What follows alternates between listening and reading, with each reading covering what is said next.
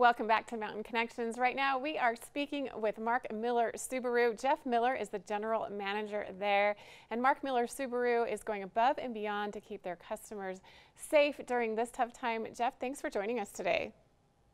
Thanks for having me on. So recently, uh, Mark Miller passed the torch to you. Congratulations. How does that feel? Is it exciting, a little intimidating? Where are you at with handling this? It feels great. I mean, it feels great to take over. My dad spent a long time building this thing up and building it to what it is, and for me to take over, it's an honor to continue his legacy. And this is the fourth generation in the Miller family of continuing keeping businesses within the family since the 1900s. So, what a legacy! Yeah, so it started with my great my great uncle back in the 30s as the original Ford distributor in the state of Utah. So we've we've come a long way over the last 90 years to be where we are now. And you started on May 1st officially as the general manager. What are some goals that you have as you look towards the future of leading Mark Miller Subaru? I think uh, really continuing how we've run it for the last decade. I've been running the store since 2009, so really continuing what we've been doing, being a part of the community, giving back, being more than just a car dealer. Like there, we have a responsibility in our community, and we're going to continue what we've been doing. And you started at seven years old in the car business. Is that correct? Yeah, it's a funny story. So when I was about seven, my dad would drive by the lot to check on things or to close up. And part of closing up a car dealership lot is you have to lock all the car doors. So what we would do is he'd send us out and he'd pay us, I think it was a nickel a piece or something like that, for every car door we handle we pulled to see if it was locked. and so that's kind of how we get our allowance. I love that. It's so nice to hear that you've been in the business for so long and that Mark Miller Subaru is going to continue providing the great service and supporting the community. And speaking of that support through nonprofits and other community organizations, why is that such a priority for Mark Miller Subaru? So we've always looked at the we have a responsibility to take care of our community and take care of the people around us. So without this community, without these incredible communities around us, whether it's Park City, Salt Lake, anywhere, we wouldn't be in business and we wouldn't be able to support our families. So we have a responsibility to keep that community strong. And so we're going to continue to do that. And so we try and partner every year with six Love Promise partners that we call them and work with them to try and not only get them volunteers and money, but try and bring their name up so more people know all the great things that they do. And it was your idea to have Mark Miller Subaru be a B Corp. Explain that and tell me why you decided to do that.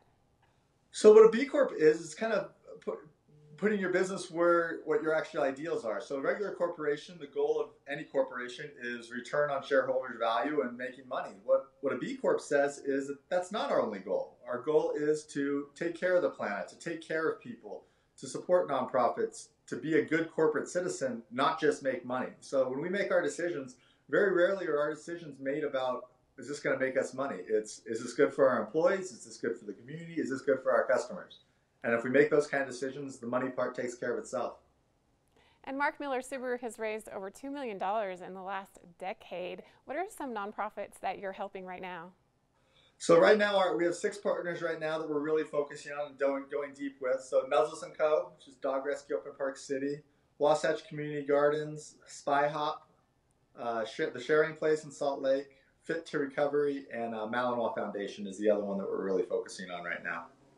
You know, so many people do need help right now, and there's many nonprofits within Utah, within Park City. There's quite a few.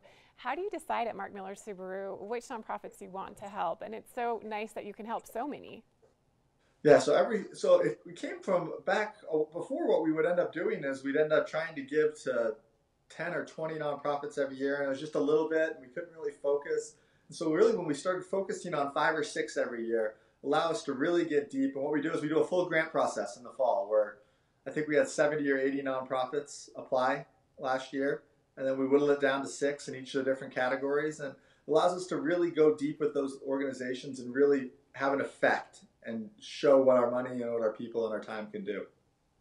I know those funds are greatly appreciated. Now, before I let you go, I'm curious to hear more about how Mark Miller Subaru has been able to shift gears and really help keep their customers safe during this scary time. So, so one nice thing that is about two years ago, we started doing pickup drop off. So, what, and so it really prepared us for what's going on now, in which we are doing for all any customer inside uh, 25 miles of the store, we will do free pickup drop off for any service. So we'll send someone out, pick up your car, bring it to us, service it, and bring it back, all free of charge. For our for our customers, our existing customers, we'll actually extend that out to 40 miles, so we can get all the way up to Park City, Heber, up into those areas, and service those cars where people may not feel comfortable coming into the store. And they sanitize, clean them. We're very careful. Everyone's in masks and gloves doing it, and really provides the ability to get your car serviced without having to go out in the world. Well, thank you so much, Jeff Miller, for joining us today from Mark Miller Subaru. We appreciate you taking the time to connect with us. It's been fun to hear more about the history and great to hear how you are supporting nonprofits and keeping customers safe. So thanks for joining us this morning. Thank you for having me. I appreciate it. Head to markmillersubaru.com online for more information. Thanks again to Jeff Miller for joining us today. We'll be back with more right after this.